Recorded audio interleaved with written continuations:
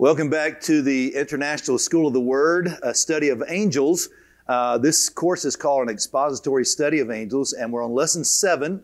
And lesson seven is about angels unaware. So we're going to talk about people uh, who have encountered angels, and perhaps you didn't realize that you're encountering angels. I think out of all the lessons that we're doing on angels, this is the one that might be the most convincing that you have perhaps seen an angel. I think if you ever saw a seraphim, you would know it. I think you would you wouldn't have any second guesses if you would have seen a seraphim. But um, I think that you will see in this lesson that there possi- there's the possibility that you that you have seen angels. I think everyone in this room has seen an angel. That's what I think. I think that most of the people on the planet have seen angels. Whether they realize they were angels or not, I believe they are among us all the time. So we're going to talk about that. So let's start with Hebrews uh, chapter 13, verse 2. Do not forget to entertain strangers, for by doing so, or by so doing, some have unwittingly uh, entertained angels. I don't think this is just a reference to uh, the couple of times in the Bible that angels showed up and people didn't realize they were angels. I think this is a statement that really applies to every era of time, that re- applies to every country, every language of the world, every nationality. I think angels are among us. I think they're here, and I think that we see them and they're God's messengers uh, to minister to us, and we'll see that in a moment. Uh, and I think that they're everywhere. If you go to certain countries, like the country of India, if you go to India, and they've never seen you before, almost every person you see will do this. They'll fold their arms and they'll bow their head and they'll just do this. So I was there just a few months ago, and everybody in the hotel, on the streets, they kept doing like this. And I asked someone, I said, um, I realize this is your custom because I was doing this back because I didn't know what to do, you know. And I said, by the way, what does this mean? And they said, oh, they're doing that just in case you're an angel. I said, what?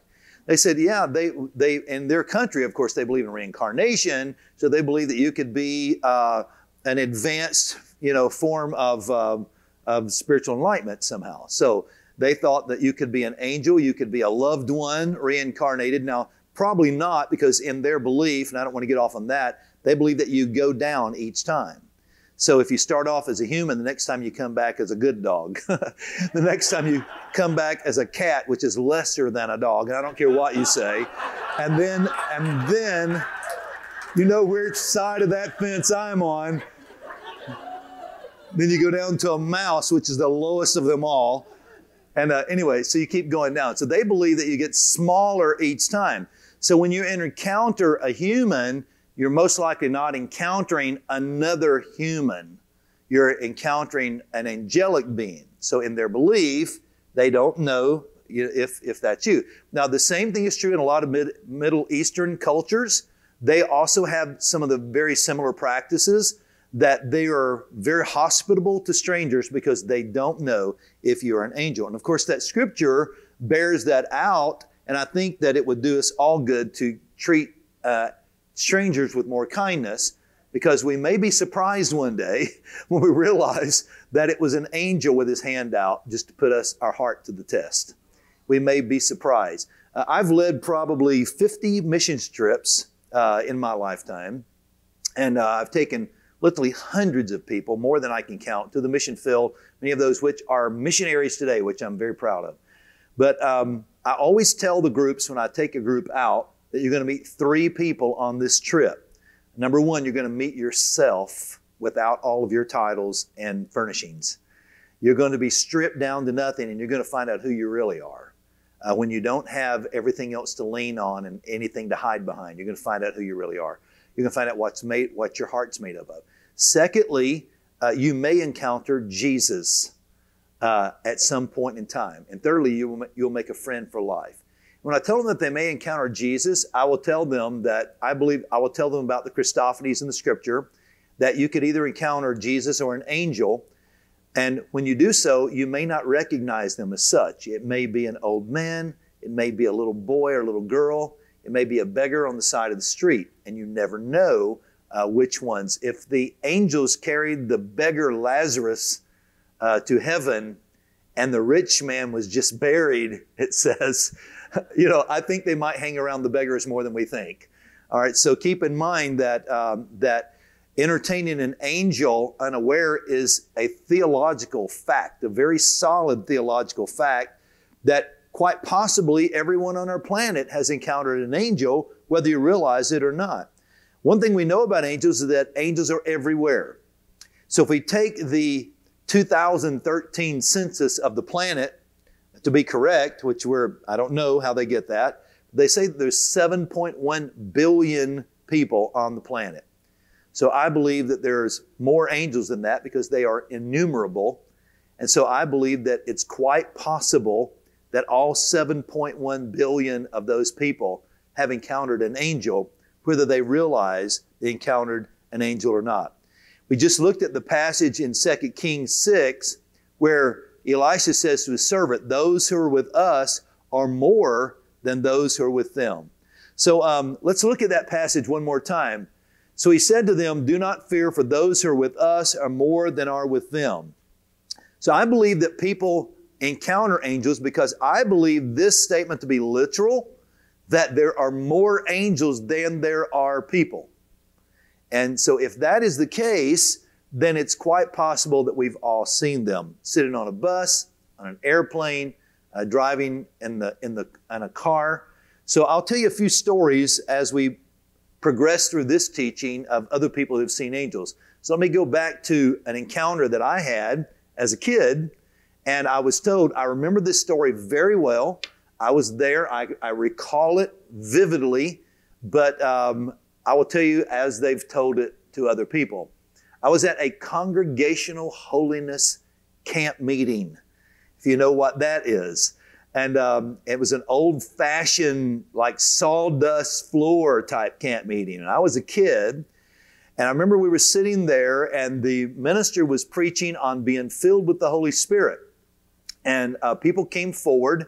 My guess is there were less than 100, but maybe 80 to 100 people that came forward to be filled with the Holy Ghost that night. As they gathered and prayed around the altars, uh, we believed in those days, and we should still believe, but they would tarry until they were filled with the Holy Spirit. So they would pray a long time.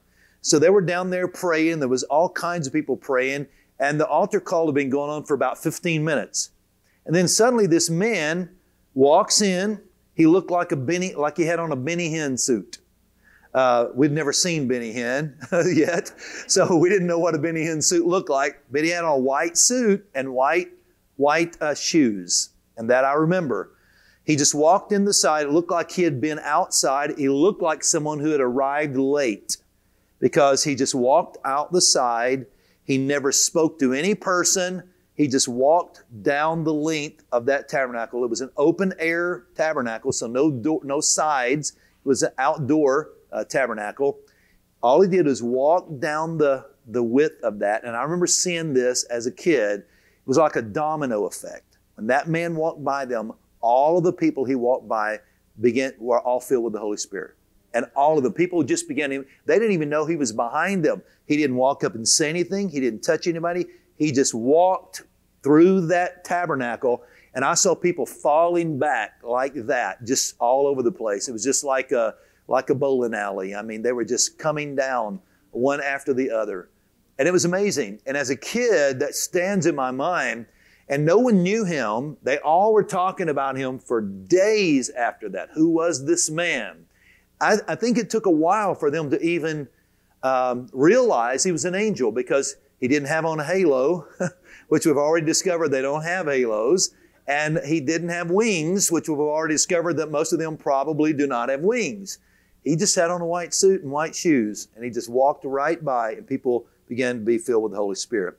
And I'll tell you a few other stories like that, but that was one that I remember when I was about probably 11 or 12 years old, and uh, that has stuck with me all these years. So, one of the things about angels that we know is that angels are ministering spirits. So, I want to look at this passage and see what it means. And notice this how this, how this is worded in the book of Hebrews. Are they not all ministering spirits? Are they not all? So every angel, are they not all ministering spirits sent forth to minister for those who will inherit salvation? So in this passage, he's basically calling angels ministering spirits. We will resume this teaching after a short message from International School of the Word. This teaching is one lesson taken from a full course on isow.org. If you are enjoying this video, we invite you to check out the full course in the links below. For the best value, try our All Access Pass. At just $99 per month, you can access thousands of hours worth of high quality, world class teaching. To check local pricing in your country, visit isow.org.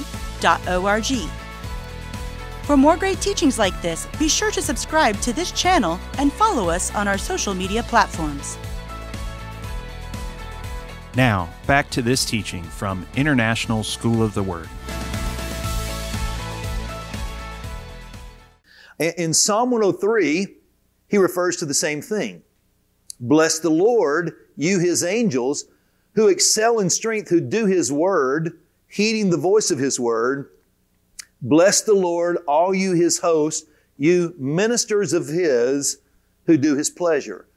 So again, we have two references there where angels are actually called ministers. Okay, what kind of ministers? Um, I'll never forget one time I was in an airport and someone said, um, What do you do for a living? And I said, I'm a minister.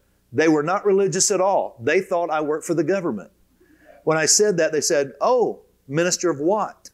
Minister of Education, Minister of Commerce. They thought that I worked in Washington, D.C. because they were totally unfamiliar I guess, with the minister of the gospel. And I said, No, I work for the king. That's I left it at that. They said, Oh, pardon me.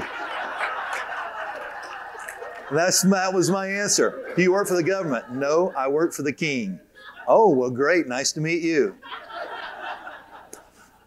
And I meant every word of it. Um, so when you see this term, ministering spirits, um, what does it actually mean? Well, it comes from the it comes from the word. Um, it, it's actually a Greek word. It's it's the word where we get the word liturgy from. So the Greek word would be liturgikos, but it's where we get the word liturgy from. And so it means to perform a service or employed to minister a service. So a liturgy. I'm employed, so I've been hired or employed by someone to do a particular service. Maybe I'm registering people. That's what I've been, I've been employed to do. So the term is not very spiritual. It just means you're on assignment to do something very specific. Uh, if you look at the Greek word, if you, well, let's, let's go to the Hebrew word for minister. Okay. So the Hebrew word for minister would be the word sarat, which means to serve in the work of the Lord uh, a sarat, someone who serves in the work of the Lord. The Greek word is a word that you probably heard before in English, or at least a variation of that.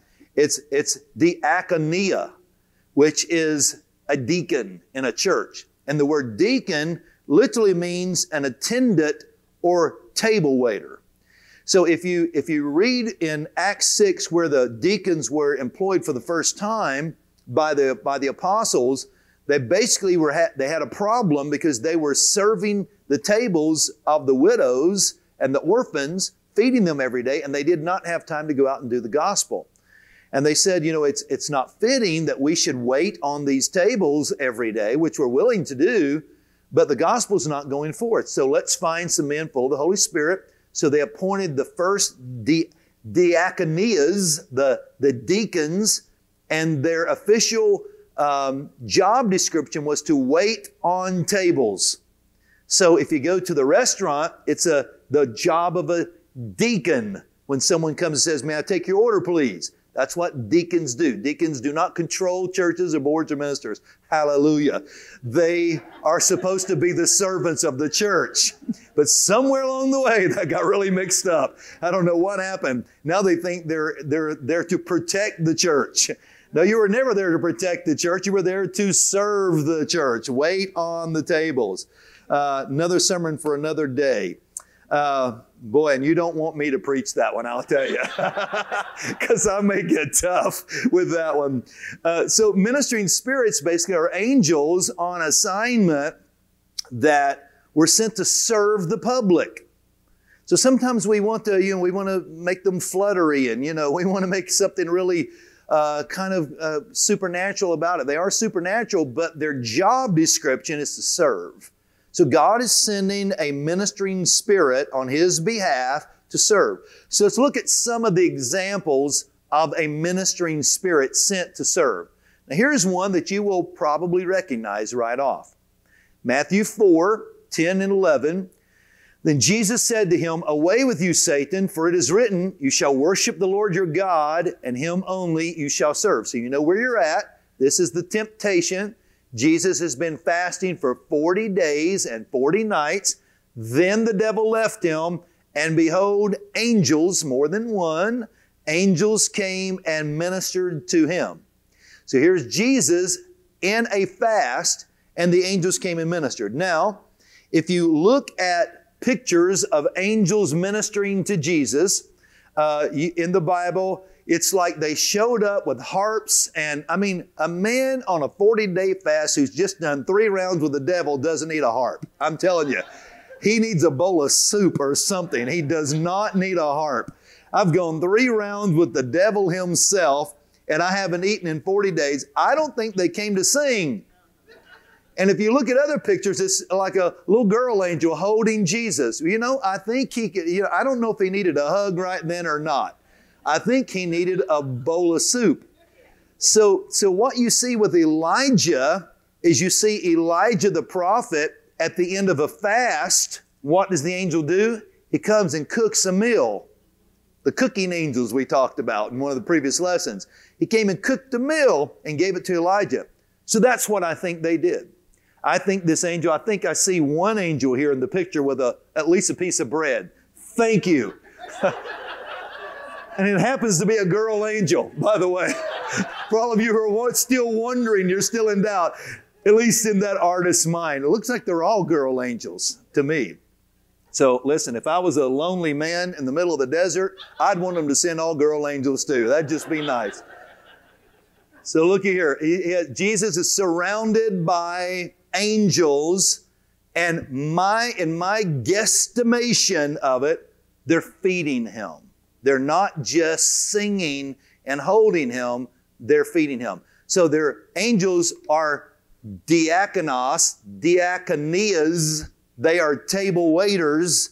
So it just seems fitting that when the angels came to minister to Jesus at the end of the 40 day fast, they would wait his table and they would feed him food.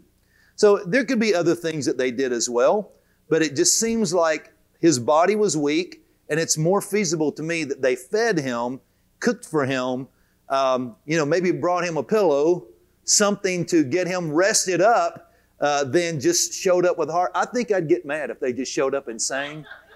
After all I've been through, and that's all you got, really. I mean, one of these days they're going to sing Victory in Jesus, and that's going to be about me from what I just got through doing here. And you want to sing? Come on now. I'm having a little fun with you, but um, but keep in mind that that the angels came to minister to Jesus. Okay, so here's the big question among angels unaware, entertaining angels unaware. How about guardian angels? Do we all have a guardian angel? So let's look into that. The short answer is yes. The long answer is maybe not. So let me explain that to you. Okay, now that you're thoroughly confused, let me explain what I mean by that.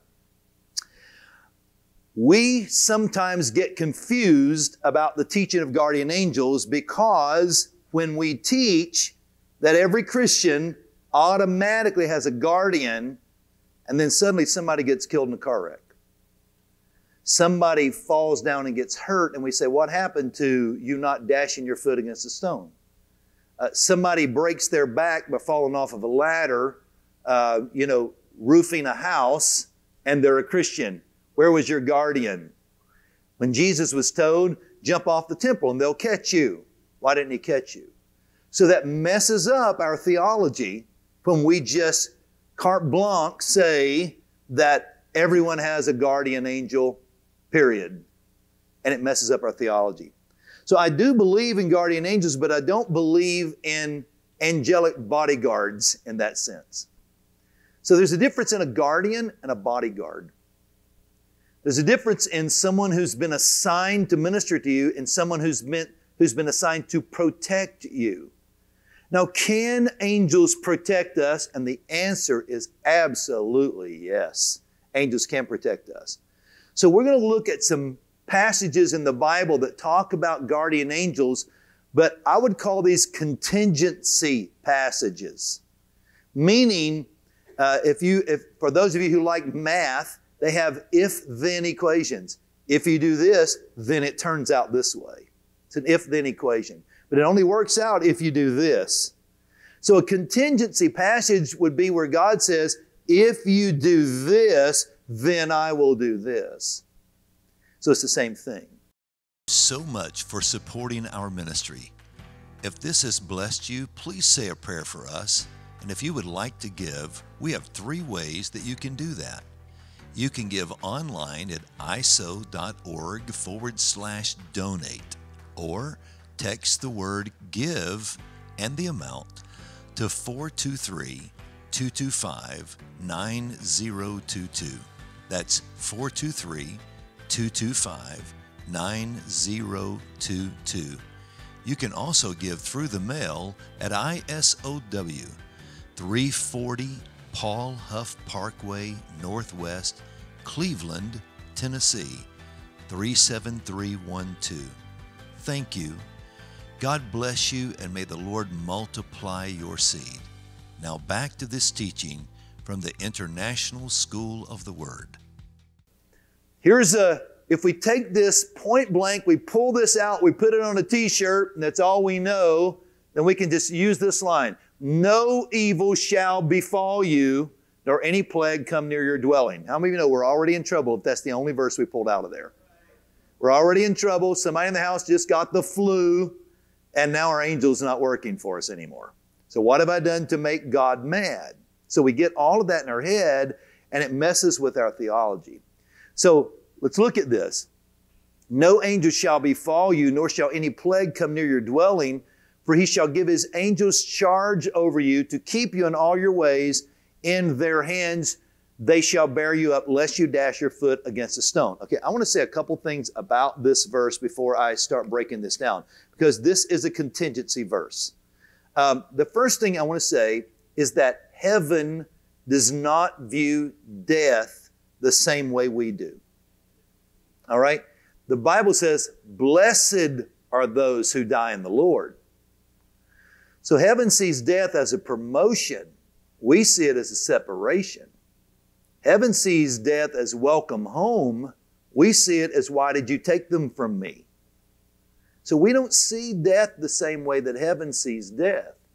Uh, heaven sees death as a graduation, a promotion. The Jewish faith has a belief that anyone who dies in their sleep was a righteous person because this is the death of the righteous. They die in peaceful sleep without suffering. And they believe that. If that's true, then my grandmother was righteous. And I kind of believe she was. But they believe that. So they do not see death. The Bible says, Blessed are the young who die in the Lord. We don't even want to think about that. We don't even want to let our minds go there. The young dying looks like their life has been wasted instead of their life has been started. We see when we, I have a whole chapter in my book, Heaven on My Mind, dedicated to any mother who's lost a child. And the whole chapter, and I prove it biblically, is about children who grow up in heaven. Because they're not instant adults when they're there, they just grew up there without pain, without sorrow, without ever seeing a bully, without ever knowing some of the pain and sorrows of this life. They had an awesome life on the other side. For every mother or father that's lost a child, which is something I wish would never have to happen, but for someone who's lost a child, you will have joy that no one else has in heaven because you had sorrow that no one else had on earth. And the joy will outweigh the sorrow. And that's a great promise. So keep in mind that heaven does not view certain things the way we view them. So when we get our theology centered around us and our well being, and the first time someone gets sick, then God's off the job. The first time that someone gets hurt, the angel let us down. Why did God do this to me? So God gets the blame for things that sometimes is just a part of the human plight. So, in this particular passage of Scripture, you have you have this promise that he will that no evil shall befall you, no plague come near your dwelling. He will give his angels charge over you. There's guardianship there to keep you in all your ways. But understand that this entire promise is contingent upon the next part of the promise because he has set his love upon me. Therefore, I will deliver him. I will set him on high because he has known my name. He shall call upon me and I will answer him. I will be with him in trouble. I will deliver him and honor him. With long life will I satisfy him and show him my salvation. Now, so here you see that God says there are times that angels are assigned to believers who have set their love upon him and who have called upon him for deliverance. So we, we talked about Psalm 18 earlier. In my distress, I called upon the Lord, and he heard my cry in the midst of his tabernacle. And he rode upon a cherub and did fly. He flew upon the wings of the wind, and darkness was under his pavilion, fire held vapor of smoke. But in my distress, I called upon the Lord. So this is a promise that if you are in trouble, and you put your faith in the Lord, that God will send guardians to protect you when you put your, your trust and your faith in the Lord. And so it's not a it's not a blank check that every believer gets a guardian. Now, I don't know if I want to go into this because I'd rather I don't have anything on the screens to tell you, but I do believe that every believer has a scribe. Why would you say that? that not that every believer has an angel that's with you all the time. Is that angel guarding me and as a bodyguard? Not necessarily, but that angel is with you and that angel is recording constantly. Now, this is another teaching. I don't have time to go into it, but it's the teaching on the book of life. Uh, the book of life is not one book.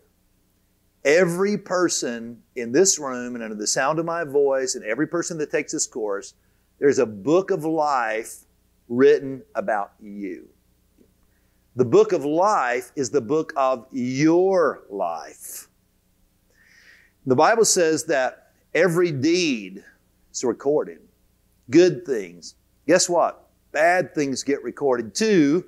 But according to Colossians 2, when you come to Jesus, the handwriting that was against you gets wiped away. And there's nothing there.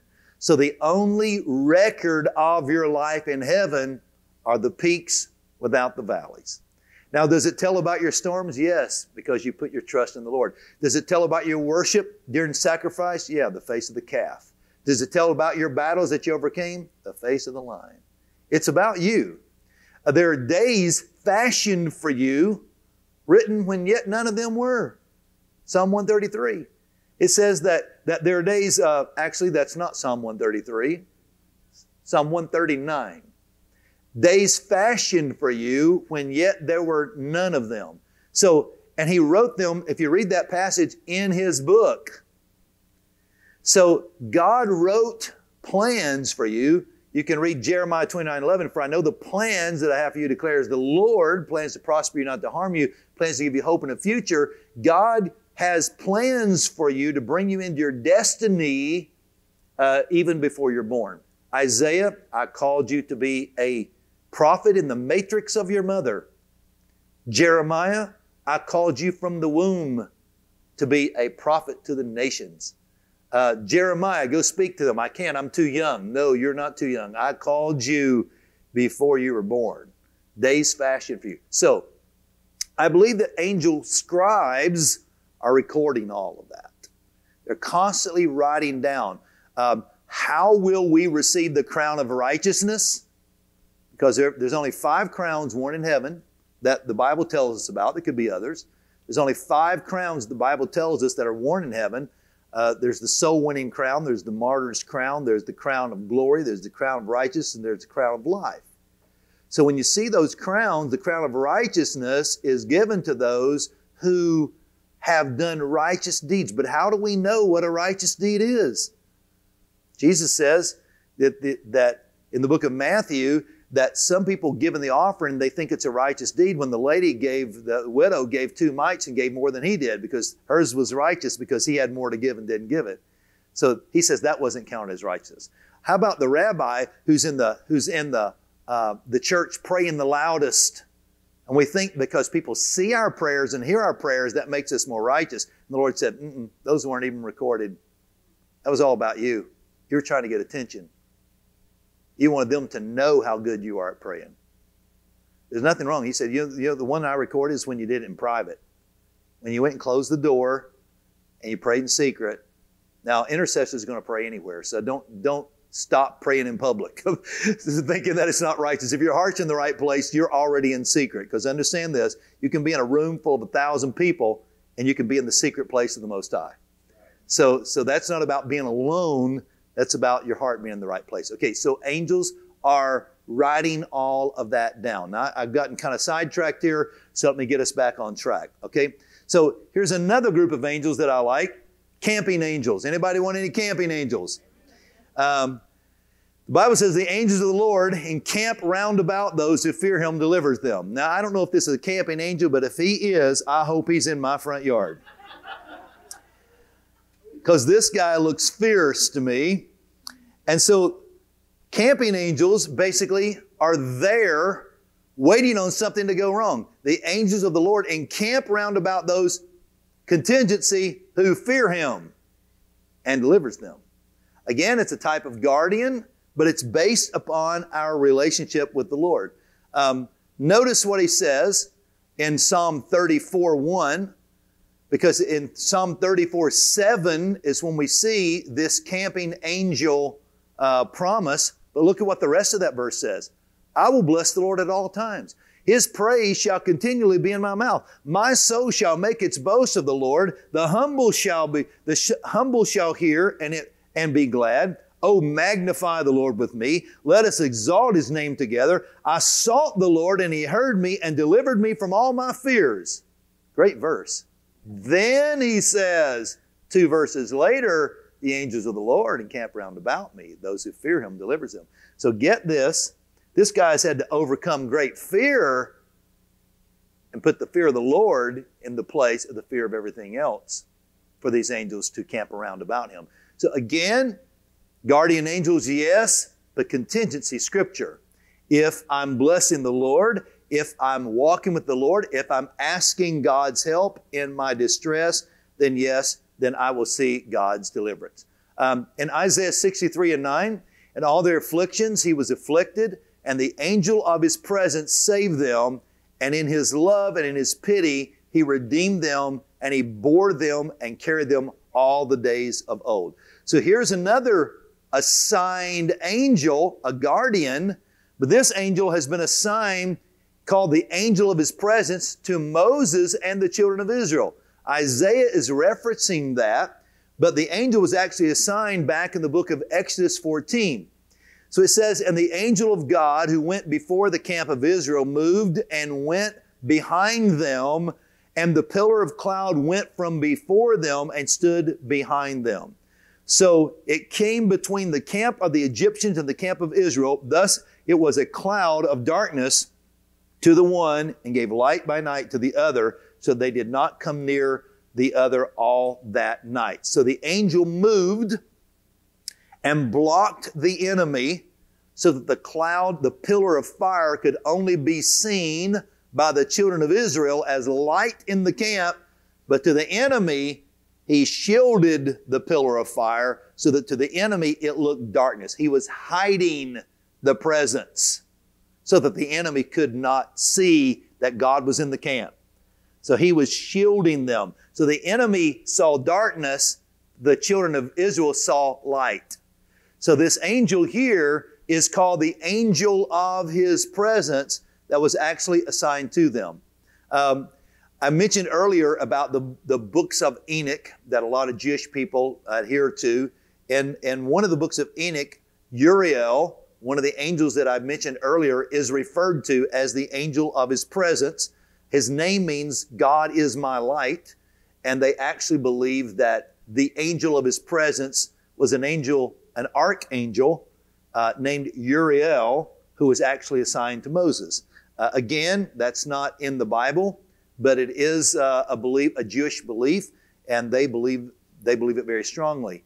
Um, you can see here when God actually assigned this angel, He says, "Behold, I send an angel before you to keep you in the way and to bring you into the place where I've prepared."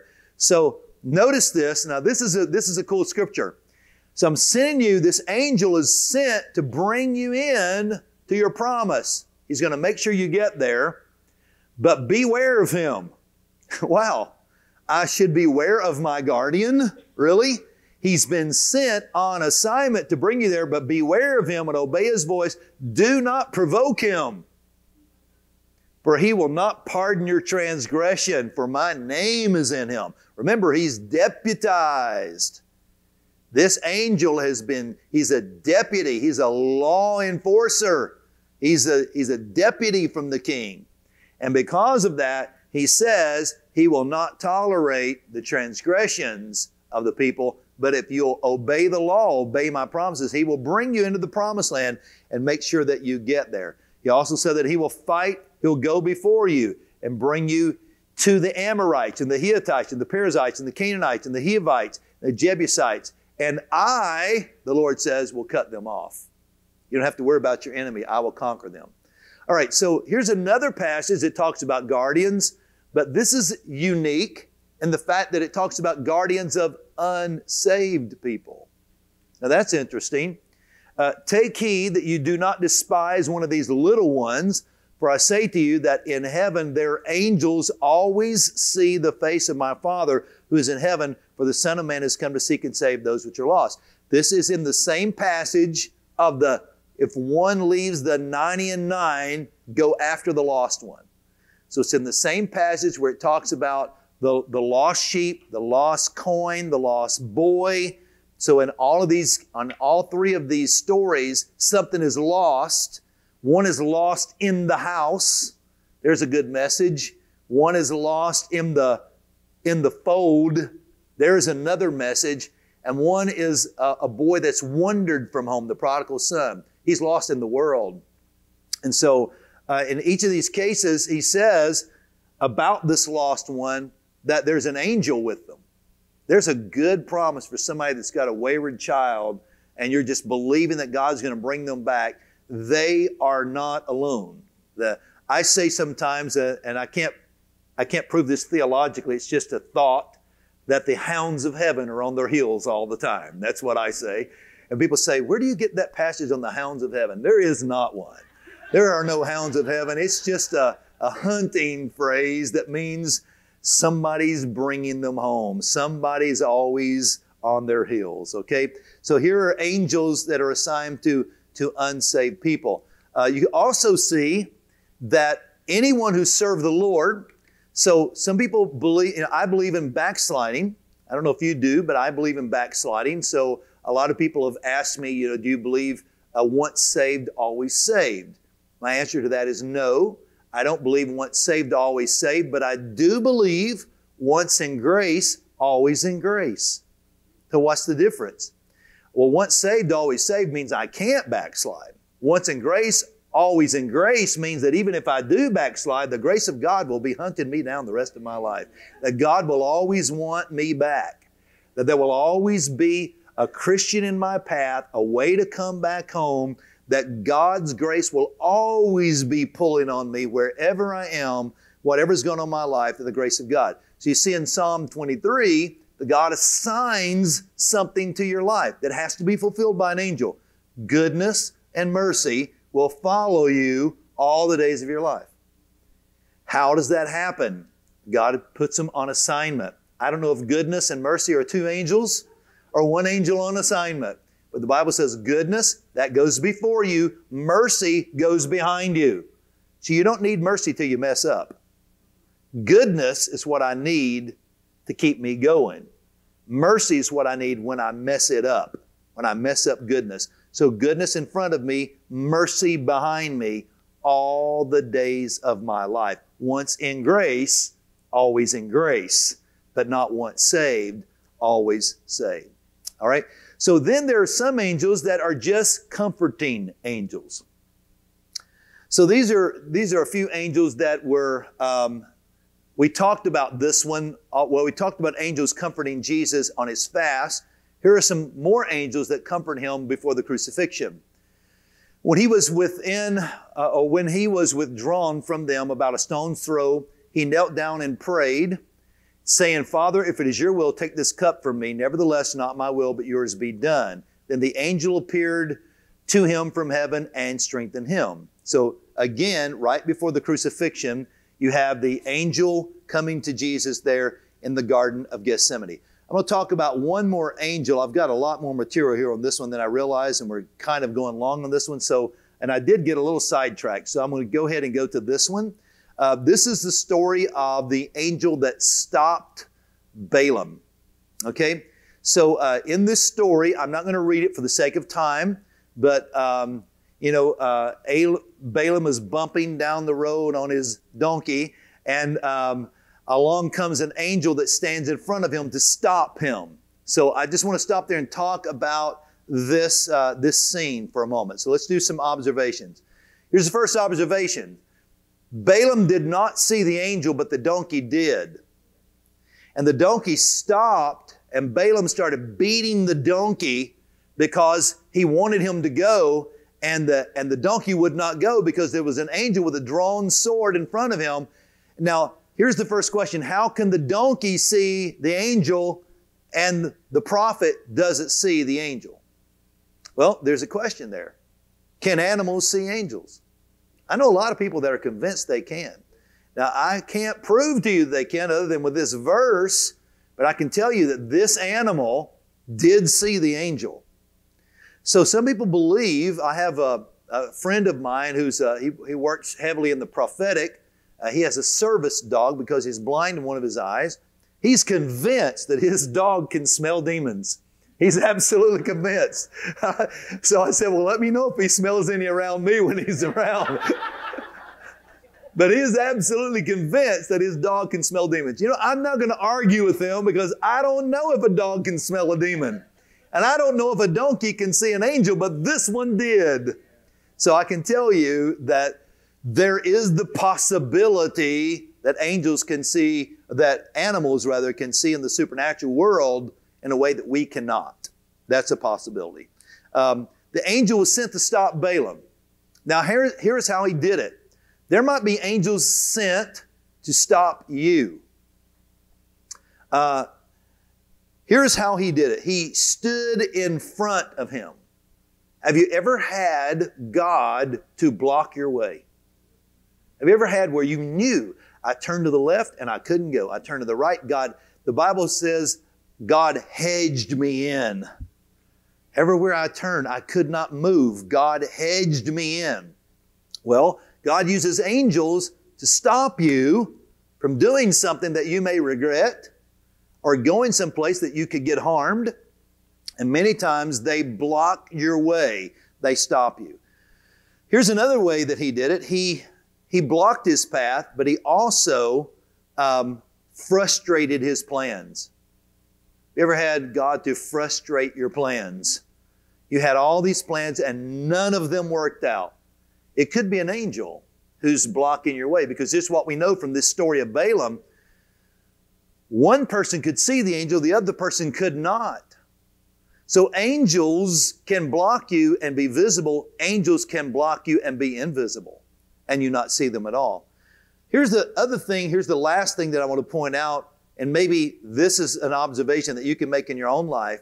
When this angel blocked, uh, when this angel blocked Balaam, he used the voice of another to talk to him. In this case, he allowed the donkey to speak. Now, I don't have time to go into that, but I love what that donkey said to him. That's, that's some of the best reading in the Bible. How dare you beat me when I've been hauling you around all this time? Why did you beat me? I was trying to protect you. Didn't you see that angel with a drawn sword and you beat me? And then he said, You beat me again. And then you beat me again. I can just see that, that little donkey on Shrek saying all of that, you know? I can just see him saying all that. How dare you beat me when I've been hauling you around all day long? So keep in mind that this angel used the voice of another to detour him. Maybe it's not a donkey that talks to you, but maybe God uses the voice. Maybe an angel influences the voice of someone else to say, What are you doing here? Why are you in this place? You know you shouldn't be here. Have you ever had God to stop you and say, What are you doing here?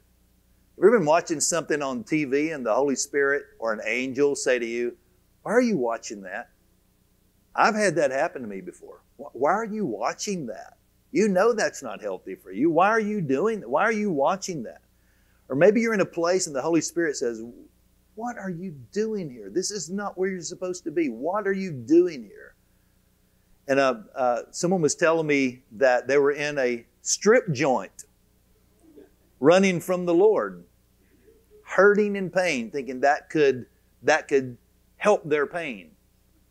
And somebody with their head down at the bar raised their head up and said, "Are you a Christian?" "Yep." "Oh, so you don't play by the rules." And that person said immediately they ran out of that place. Now, you can say whatever you want to say, but that could have been an angel. Showed up in a, I mean, they went to Sodom and Gomorrah. I think they could go where a pole dancer was. I think if they go to Sodom and Gomorrah, and he raised his head up and said, You know you're not supposed to be here. So sometimes angels block your way by using the voice of another.